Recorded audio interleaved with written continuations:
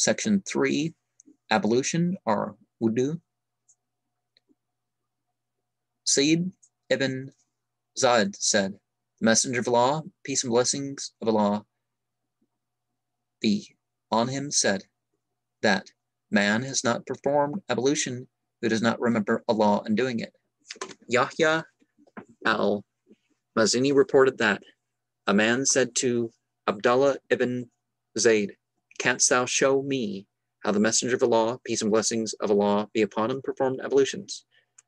Abdullah bin Zayd said, Yes. So he sent for water and poured it over his hands and washed his hands twice. Then he rinsed his mouth and snuffed water into his nose thrice. Then he washed his face thrice. Then he washed his hands up to the elbow twice. And then he wiped his head with both hands so that he carried them from the front and brought them back.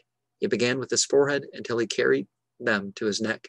And then he brought them back to the place from which he had started and then washed his two feet. And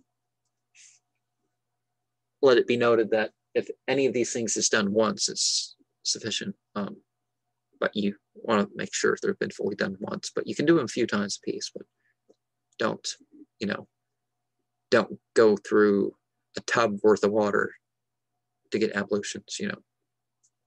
Ibn Abbas said, the Prophet, peace and blessings of Allah be upon him, performed ablution, watching each part once only.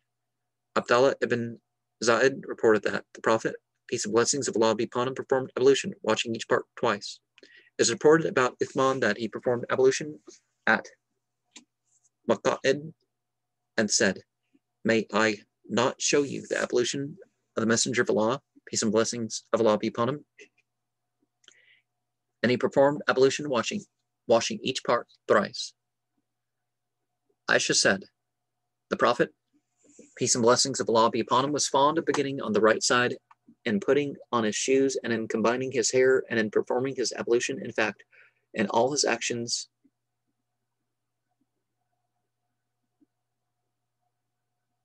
Abu Huraira said, The Messenger of Allah, peace and blessings of Allah be upon him, said, When he put on clothes and when you perform ablution, begin with the right side.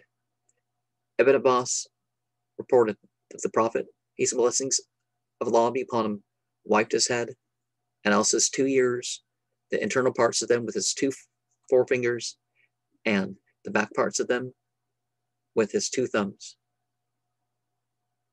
Amr ibn Umayyah said, I saw the Prophet, peace and blessings of Allah be upon him, passing his hands over his turban and his boots. Mughira said, I was with the Prophet, peace and blessings of Allah be upon him, in a journey, and I bent down to take off his boots, but he said, Leave them alone, for I put them on as a state of cleanness. Then he passed his hands over them both.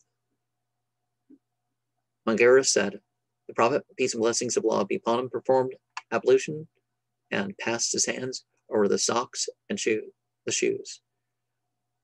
Abu Bakr reported on the authority of the Prophet, peace and blessings be upon him, that he allowed one who is journeying three days and three nights, and one who is not on a journey one day and one night to wipe his boots instead of washing his feet, when he had put them on in a state of cleanliness.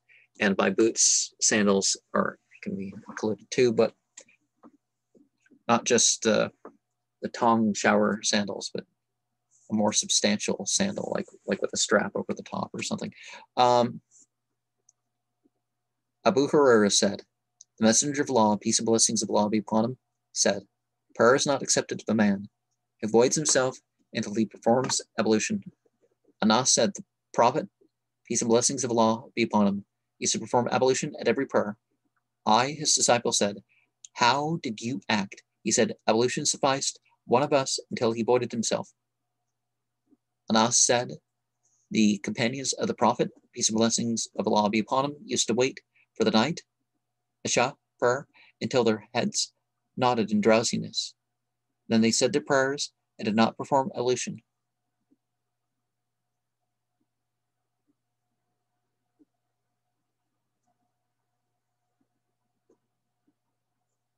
you know, you don't have to perform a fresh ablution for every prayer, just when you've lost ablutions. Ibn Abbas said, The messenger of Allah, peace and blessings of Allah be upon him, said, Ablution is necessary for him who sleeps, reclining, for when he reclines, his joints are relaxed. Abu Darda reported that the messenger of Allah, peace blessings of Allah be upon him, vomited and performed ablution.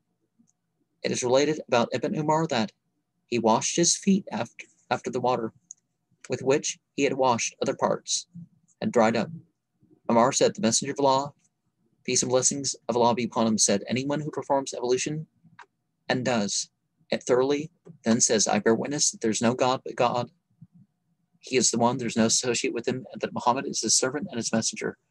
How do you say that? Um, Ashhadu an la ilaha illallah wahdahu la sharika lahu wa lahu mulku